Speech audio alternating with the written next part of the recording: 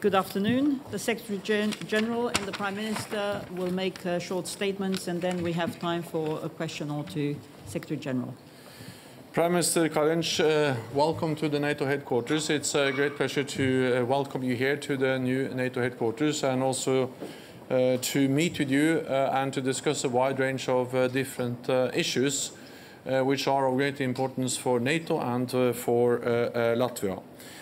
We have just discussed the ongoing adaptation of NATO, the need to change NATO as the world is changing. And when NATO leaders uh, meet in London in December, we will boost the readiness of our forces and work towards fairer burden sharing in our alliance.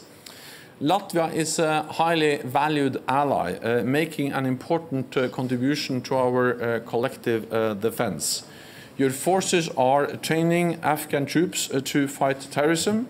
You host a multinational battle group uh, in your country, and you contribute actively to regional exercises.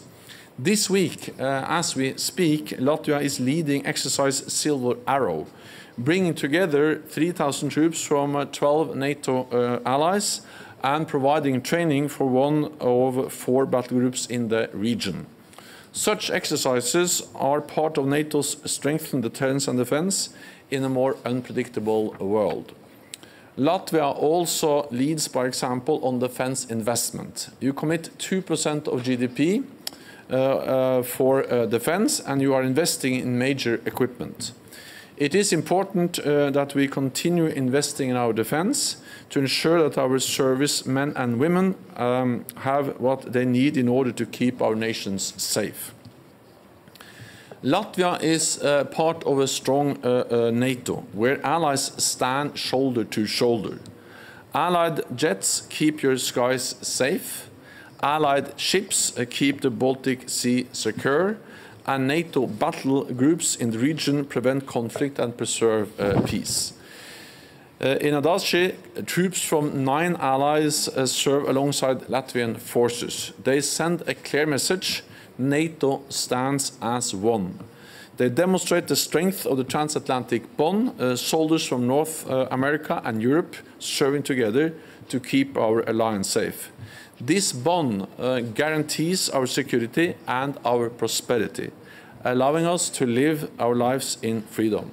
So once again, um, Mr. Prime Minister, it has been a great uh, uh, honor and pleasure to meet with you, and I'm looking forward to continuing to work with you to continue to adapt and to strengthen our uh, alliance, our transatlantic partnership.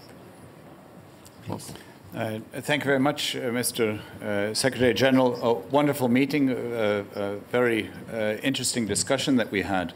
Latvia is a committed member, NATO member state.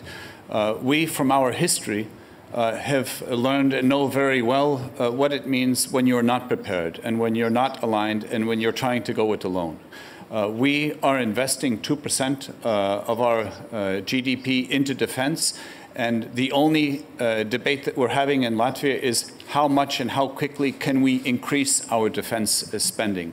Uh, our philosophy is very simple. The key to collective defense is when every member can first and foremost take care of itself and that means investing into your own defense. Uh, on top of that, uh, we very highly value the enhanced forward presence of the NATO troops, the boots on the ground, the men and women from uh, the nine uh, NATO member states who on a daily basis are in training and in exercises with our uh, men and women in the, in the armed forces. Participating in uh, the missions abroad is an important aspect that we will also be continuing. We highly value the, the, uh, the joint uh, work together with our NATO allies. And going beyond the military investments in our country, we are enacting a uh, comprehensive defense initiative uh, involving also the civil sector, uh, down to the family household level, where every member of society, every company knows what their role is in case of an emergency, be it a natural disaster or anything else. Uh, so our country uh, is a highly values the cooperation that we have uh, within NATO. We understand that you have to begin by investing in yourself. We are doing this and will continue to do this. And we're convinced that uh, uh, if all member states continue in this manner, uh, our alliance will become stronger as a force for good, as a force of deterrence uh, to ensure peace, uh, stability, and democracy uh, throughout uh, uh, the world, actually. Thank you very much. I don't see any questions, so this concludes this uh, press point. Thank you very much.